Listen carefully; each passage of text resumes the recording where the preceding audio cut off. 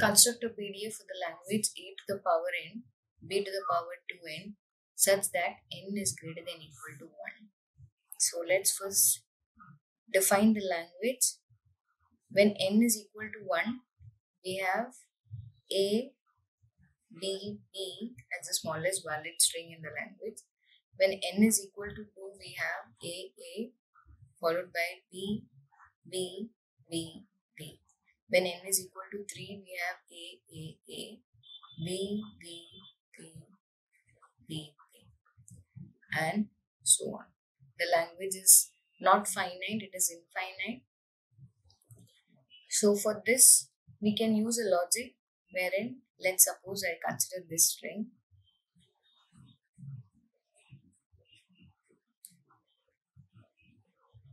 Push all A's to the stack. On seeing A, push all A's to the stack. That is, after seeing this A, I push this A into the stack. After seeing this A, I push this A also into the stack. Now when I read this B, that is on reading first B or if I encounter the first B, perform skip operation. That is on reading this B, perform skip operation. On reading the next B, pop this A out. That is on reading next B, pop any. Right? For these two B's, I have found a match of an A. Similarly, now when I read this B, I perform what? Skip operation that is repeat step 2 and 3. Perform skip operation, move to this B. On reading this B, perform pop operation. So now repeat when you until you read an epsilon. The moment I see an epsilon, stop. On reading epsilon, stop and reach final state.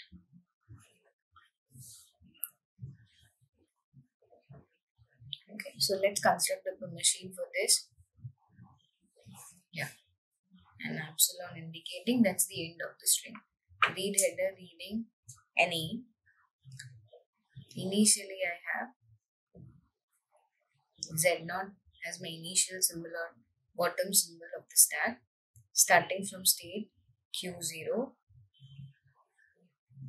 On reading any, perform push operation. On reading any, stack top is Z0, perform push operation. Okay, so I put up a self over here. On reading any, perform push operation. Read header on A. On reading any, stack top now any, perform push operation. Okay, so if even if we had multiple A's over here, perform push operation. On reading B, my stack top is in A, perform skip operation and reach state Q1. On reading this B, stack top is in A, reading this B, stack top is in A, perform skip operation. And on reading the next B, on reading the next B, I know I have to perform pop operation. That is on reading B, stack top is in A, perform pop operation. That is, this A is removed and reach state Q. On reading the third B, I know I have to perform skip operation. And then after that, for the next B, I need to perform a pop operation. So I put up a transition of skip operation back to Q1 from Q2. That is on reading B, stack top is still in A, stack top is still in A, perform skip operation. On reading the next B, I know I have this transition that is B on A will perform pop operation and this will remove this A.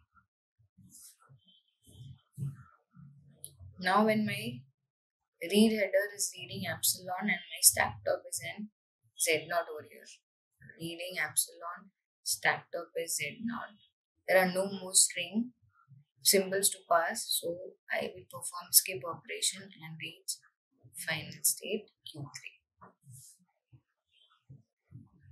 Okay.